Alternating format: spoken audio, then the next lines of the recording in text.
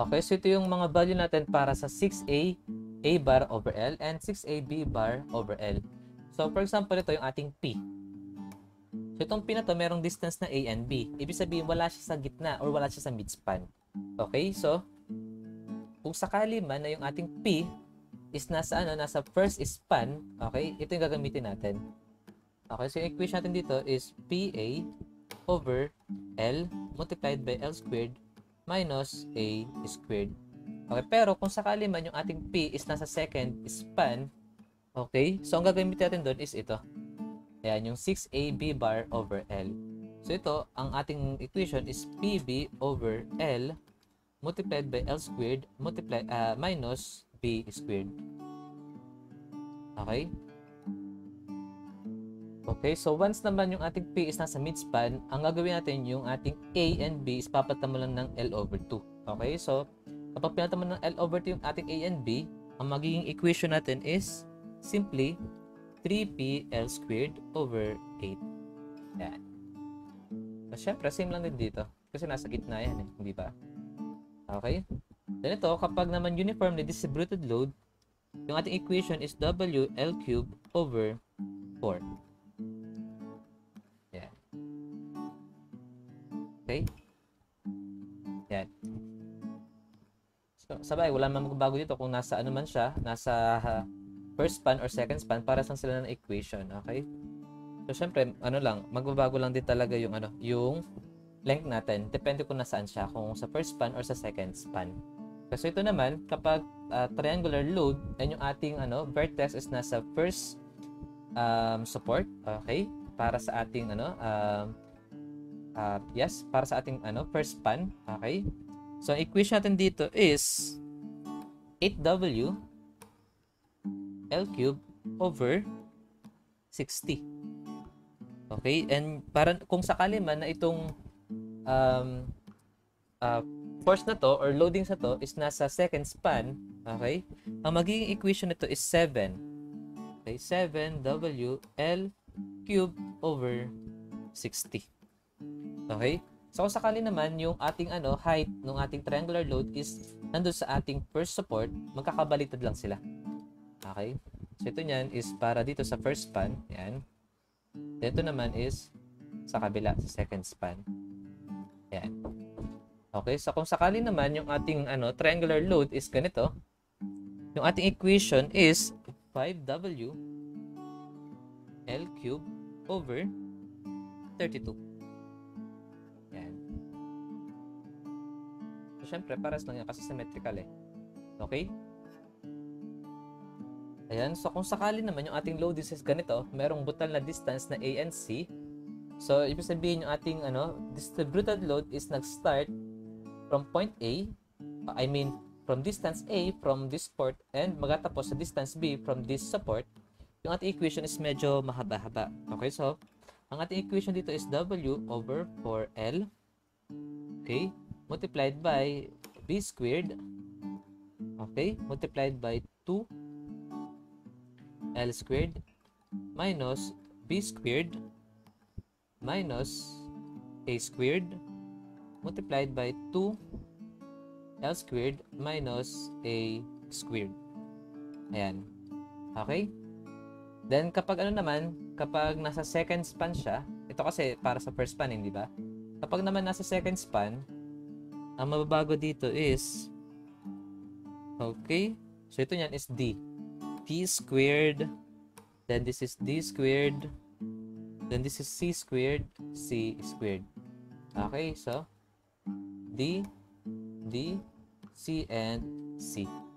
Ayan. Okay, then kung sakali man na ang given is moment at meron siyang distance A and distance B from their respective sports, okay? Yung ating ano equation dito is negative m over L multiplied by 3a squared minus l squared. Okay, then dito naman magiging plus m over l multiplied by 3b squared minus l squared.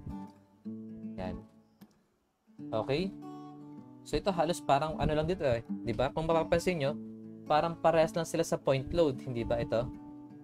Ayan, no? So, PA over L, ito lang, ano kasi to eh, M na lang, kasi moment yun eh, hindi ba yun, no? PA, okay, over L. So, ito niyan, M na lang, kasi moment na siya. Then, over L, then multiply by 3A squared minus, minus L squared. Then, ito, 3B squared naman. Okay, so ngayon, um, gawa tayo ng general equation. Okay, kasi ito, um, hindi, uh, masyado siya marami, eh, hindi ba, para i-memorize. And sa pagkakaalala ko, hindi ito binibigay sa board exam. Okay, so ang gawin natin is gumawa tayo ng ano natin, uh, general equation. Yan. So ang pagbabasehan natin is ito. Itong equation na to. Yan. Okay, para sa point load. Gagawin natin pasihan. Okay? So, kung naalala ninyo, ito, ang drawing dito is para dito. Yan. So, what if, ano, um, distributed load? Okay, so ang gagawin natin dyan, okay, so kung distributed load yan, ang gagawin natin dyan, yung distributed load, kukunin natin yung P. Okay, yung P niya, yung height. Okay, so yung saan tayo makakuha yung height niyan? Dito yan. Okay, yan. So, ito yung gagawin natin P. Okay? Then, kukuha natin yung ano niya, infinitesimal um, element. Okay? So, ibig sabihin, sabihin natin ang height niyan is Y. Okay? Then, ang ano nito, kasi ganito yan eh, di ba?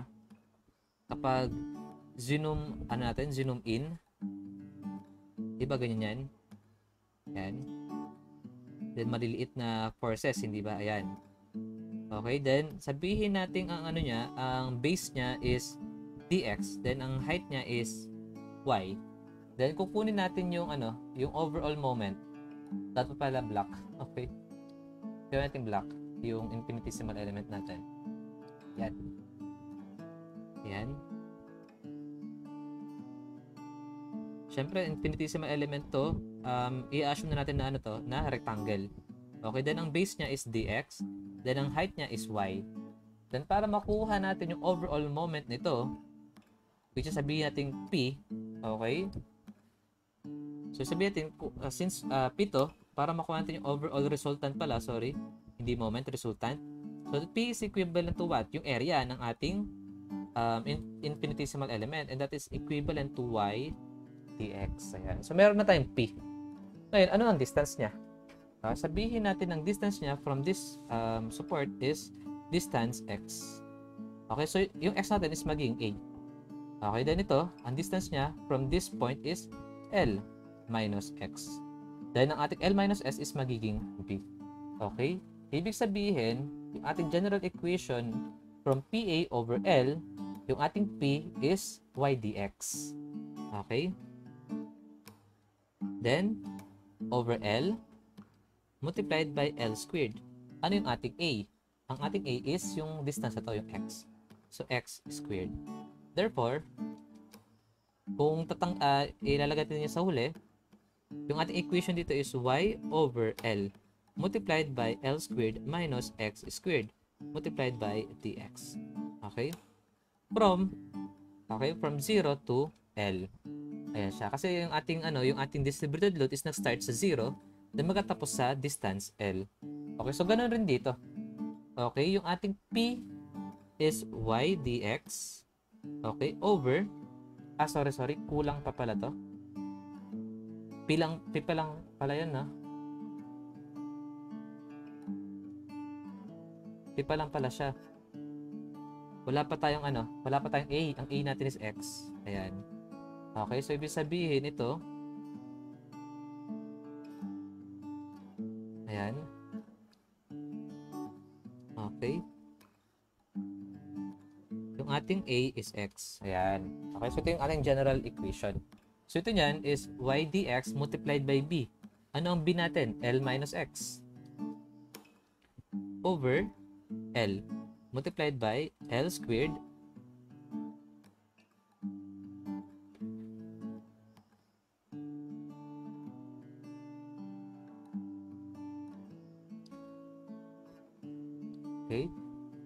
L multiplied by L squared minus b, ang ah, b squared. Ang b natin is L minus X squared. Okay? Ayan. So therefore, yung ating ah, P is Y, then multiplied by B, L minus X over L, multiplied by L squared ah, minus L minus X squared dx. From what? From 0 to L. Yan. So, ito na yung ating general equation. Okay? So, kahit anong ano na to, load. Mapa point load man yan or mapa distributed load or mapa ano pa yan kahit uh, ito uniformly distributed load and um, triangular load. So ito rin yung gagamitin natin na concept, okay? Then kapag moment, ito talaga yung equation natin dyan. Okay? So sir, paano po kung ano, kagaya nitong ano natin? Um, kaya nung sa first drawing natin, ito. Okay, so ano pong gagawin namin, sir? So simple lang din naman yan. Ito rin gagamitin natin. Ito. Okay, para dito. Teka lang ha. Ah, ano? Ilagay dito sa taas. Then, liitan natin. Ito rin. Liitan natin. Siya. Okay, so ito, yung sa first, kunwari nasa first span siya. Okay? And syempre, ito yung ating, ano, yung ating y. Okay? Na kung saan, ang distance niya, gawin na natin blue, ayan. Ang distance niya from this support is distance x. Then yung b natin ngayon dito is yung L minus x. Ayan. Okay? So, balikan lang ulit natin to. Ayan. So, PA over L. Okay? So, ang P natin, ang, ang P natin nun is y dx, hindi ba? So, ang y natin is yung w. Okay? So, therefore, this is equivalent to integral of y dx. So, yan. y dx. Okay? Multiplied by a. Ang a natin is x. Okay? Over L. Multiplied by Okay, L squared minus A squared. So, X squared dyan. And so, ito yung dx natin. Okay? Then, uh, yung ating limits is kung, nag, so, kung saan nag-start at saan magkatapos yung ating loadings. Ayan. So, nag-start yung ating loadings from A. Okay, so distance A. Then, magkatapos sa distance B. Ayan. Okay, so dito, 6A uh, B bar over L. So, ito na yan. So, PB over L, hindi ba? So, ibig sabihin, this is equivalent to integral of y dx. Okay, so yung y nasa, ay yung dx nasa huli. So, yung y, then multiplied by b. Ang b natin ngayon dito is L minus x. Okay, over, okay, um, ba? Over L. Ayan. Multiplied by L squared minus b squared. Ang b natin ngayon is L minus x squared. Okay, then dx. Then ang limit natin is kung saan nga nag-start and kung saan nagtatapos yung ating uh, loading. So, nag-start tayo sa A, nagtatapos tayo sa B. Okay? Okay, so meron tayong tatlong equation actually, hindi ba? Itong tatlong to. So, ang gawin natin, um, nagati sila ng ano, uh, equation number. Okay, para dito siya makakalimutan. Okay, so itong ating ano, um, equation na to with different cross-section and materials, okay? Na kung saan hindi zero yung H1 and H3, gawin ito as equation number 1. Okay? Then ito, with constant EI pero hindi zero yung H1 and H3, gawin natin ito as equation number 2. Okay?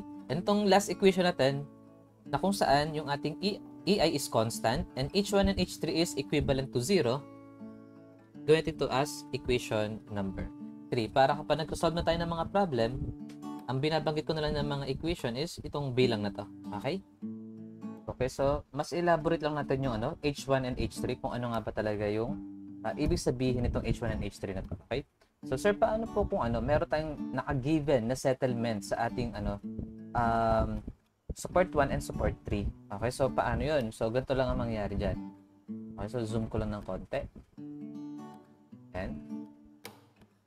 Okay, so, kunwari, yung ating andito, support is ganito. And so, hinge. Okay, then, dalawang roller. Yan. Tapos parehas sila na merong settlement. Okay, dito sa point 1 and point 3. Okay, then 0 yung ano, settlement sa 2. Okay, so ganito yung mangyayari dyan, di ba? Pa kaparehas lang nito. Yan.